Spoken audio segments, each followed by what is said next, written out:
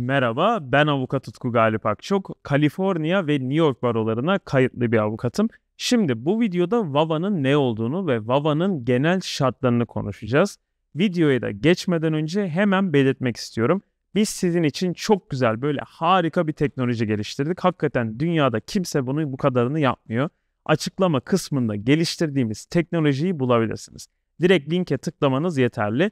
Bildiğiniz videolu, anlatımlı, interaktif bir şey. Vava durumunuz ile ilgili size bir seri soru soruyoruz ve siz sorularınızı bizi izlerken direkt video üzerinden cevaplandırıyorsunuz ve biz en sonunda da seçmiş olduğunuz şıklara göre size sonucunuzu, düşüncemizi söylüyoruz. Bu testi çözmek ücretsiz tabii ki. Eğer testimizi daha önce çözmediyseniz mutlaka testimizi çözmenizi öneriyorum ya videodan önce ya da videodan sonra bayağı ayrıntılı bütün durumları kapsayacak şekilde interaktif bir test yarattık yani. Size Vava ile ilgili hem soru soruyoruz hem de o soruyu iyice açıklıyoruz ki durumunuzu tam olarak anlayalım. Size en iyi şekilde de yardımcı olmaya çalışalım. Ancak bu testin sonucuna güvenerek lütfen kendiniz bir işe kalkışmayın. Mutlaka ya benimle ya da başka bir avukatla durumunuzu görüşün. Yine belirtmek istiyorum ki bu videoda da anlattıklarım genel bilgilendirme amaçlı ve sizin özel durumunuza uymayabilir. Şimdi bu videoda neler öğreneceksiniz ona bakalım. VAVA ne demek, ne işe yarıyor? VAVA size Amerika'da nasıl bir güzellik verebilir? VAVA'nın koşulları tek tek neler ve bu koşulları nasıl kanıtlayabilirsiniz? Bunları öğreneceksiniz. Şimdi VAVA ne demek ve ne işe yarıyor? Kafanızda iki soru. VAVA nedir, ne işe yarar? Size ne verecek en sonunda? VAVA şu demek. Amerikan vatandaşı veya yeşil kart sahibi eşiniz size zalimlik yapıyorsa ve birazdan konuşacağımız durumlar da durumunuzu yansıtıyorsa kendi başınıza eşiniz olmadan herhangi bir sponsora ihtiyaç duymadan yeşil kart alabilirsiniz. Durumunuza göre de VAVA'nız onaylanana kadar geçen süre içerisinde çalışma izninizi ve gezi izninizi de alabilirsiniz.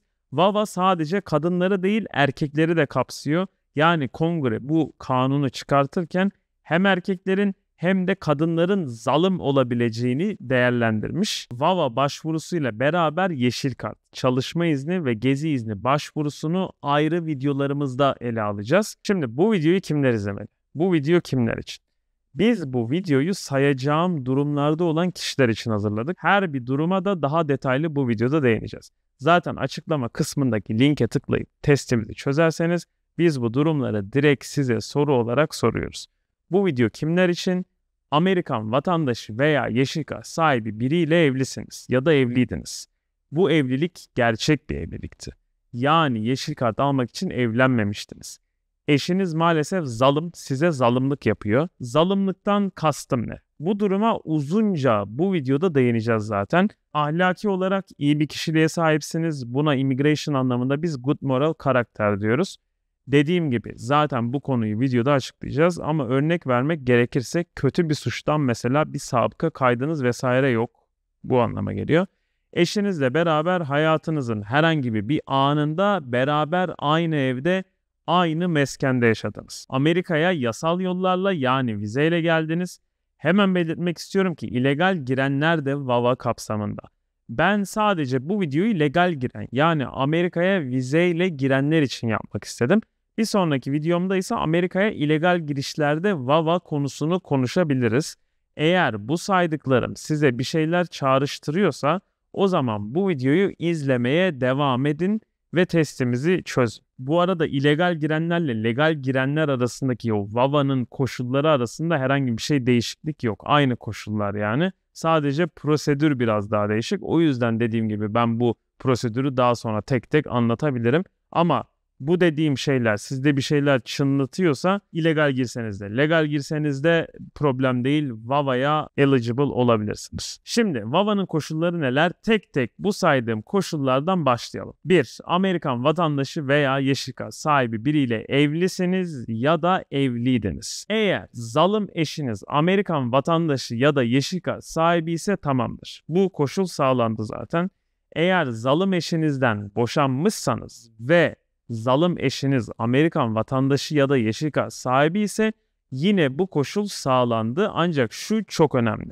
Boşanma gerçekleştikten yani kesinleştikten 2 sene içerisinde VAVA başvurusu yapmış olmanız lazım.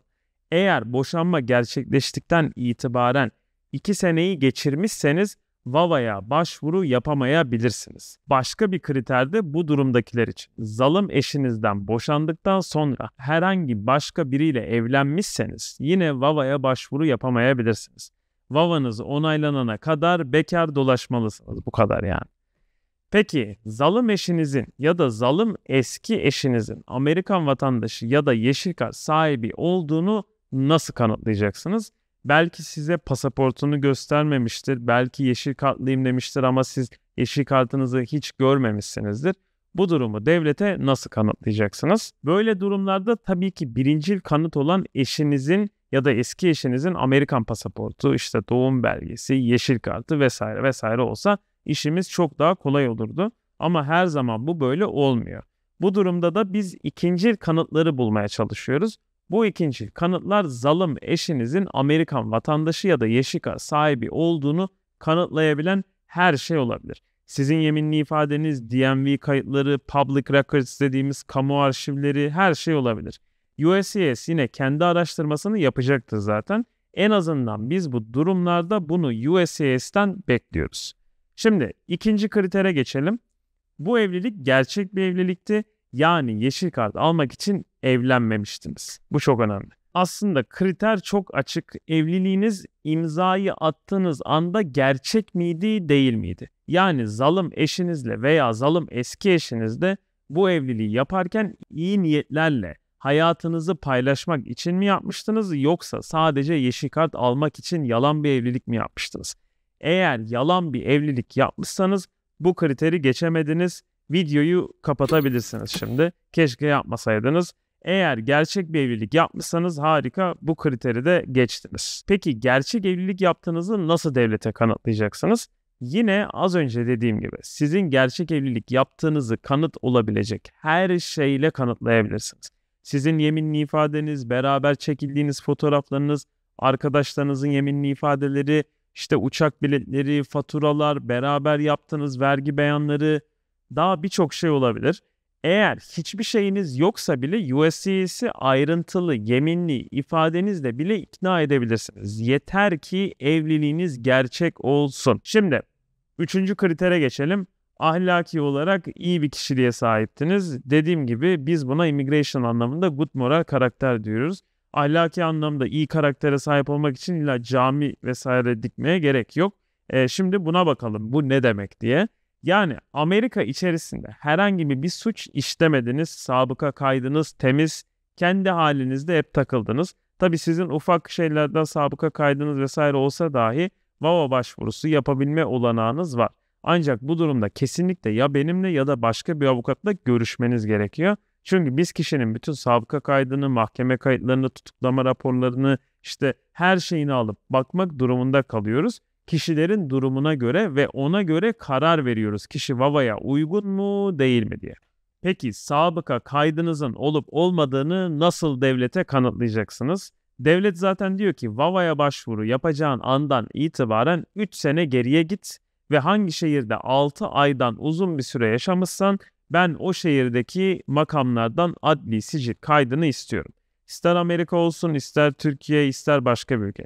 Mesela San Francisco'da yaşadın. Gidip San Francisco Polis Department'tan polis clearance işte adli sicil diyelim buna. O belgeyi alıyorsun. Ya da New York City'de yaşadın 6 ay ve üzeri git ilgili polis karakoluna sicil kaydını al.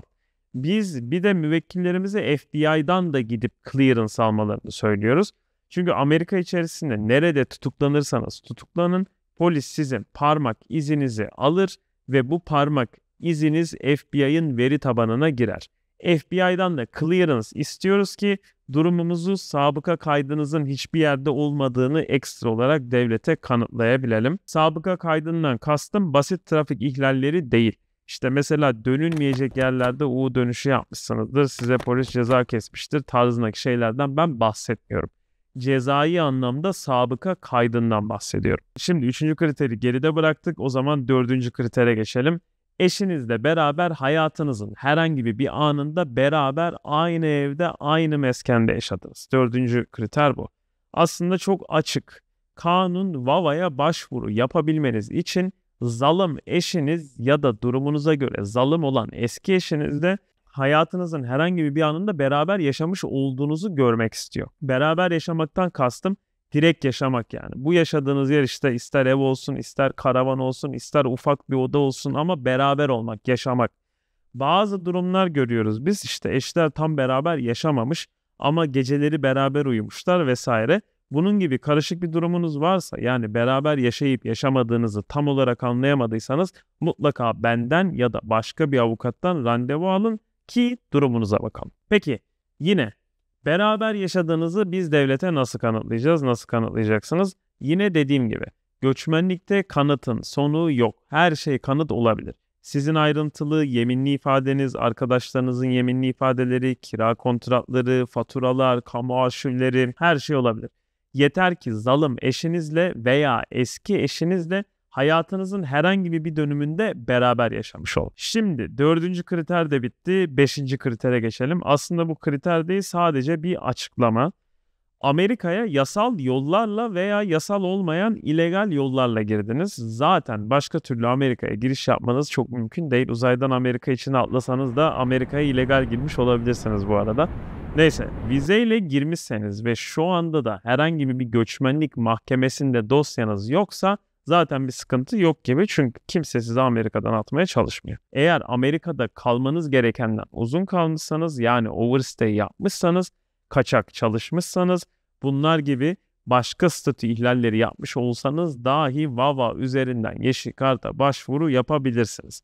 Genel olarak bu tür ihlaller VAVA'ya başvuru yapmanıza engel şeyler değil. Eğer Amerika'ya illegal girmişseniz yine VAVA'ya bütün bu şartları taşıyorsanız başvuru yapabilirsiniz. Ama durumunuz biraz daha vizeyle girenlerden karışık olabilir. Çünkü mahkemeniz olabilir vesaire. İlegal giriş VAVA'ya engel olmasa da ayrı bir videonun konusu çünkü orada değineceğimiz ayrı durumlar var. Bize abone olun ki illegal giriş için çekeceğimiz VAVA videosunu kaçırmayın. Ancak illegal girmiş olsanız dahi bütün saydığım ve son olarak birazdan sayacağım eşinizin zalim olma durumu aynen sizin için de geçerli. Kriterler vizeyle gelenle de vizesiz gelenle de aynı yani. Peki Amerika'ya yasal girdiğinizi nasıl kanıtlıyorsunuz? Genelde bu basit çok basit bir şey. I-94 belgesiyle kanıtlıyoruz. Neredeyse Amerika'ya her legal giriş yapan vize sahiplerine elektronik I-94 belgesi oluşturulur. I-94 belgesini sizin için Amerika'ya girişte sizin pasaportunuzu ve vizenizi kontrol eden o memur var ya o oluşturuyor. Bu form artık elektronik olarak oluşturuluyor ve bu siteden bilgilerinizi girerek I-94 formunuzu bulabilirsiniz. Ve geldik asıl önemli ve son kritere. Eşiniz ya da eski eşiniz zalim ya da zalimdi. Size zalimlik yaptı ya da yapıyor ya da zalimlik yapıyor artık nasıl derseniz.